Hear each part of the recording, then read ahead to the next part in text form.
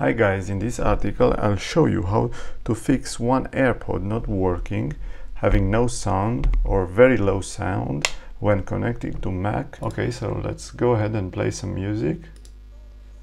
and connect the AirPods to a Mac.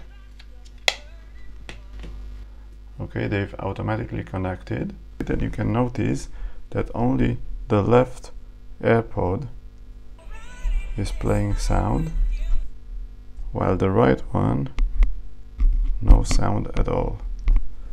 Okay so there is an easy fix for this. What we'll have to do is open system preferences tap on sound click on sound sorry.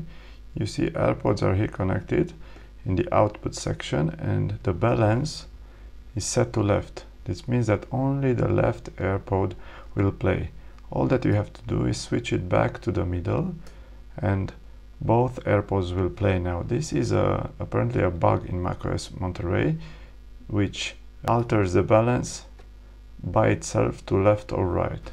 Okay, so now when I'll play the song again, you notice both AirPods play depending on the macOS version that your Mac is running, this uh, bug might occur every time you connect your AirPods to your computer. Thankfully, there's a shortcut, Alt and the F12 key that brings up the sound settings and you can easily uh, fix the balance. Thanks for watching. See you in the next one. Don't hesitate to like and subscribe. Bye bye.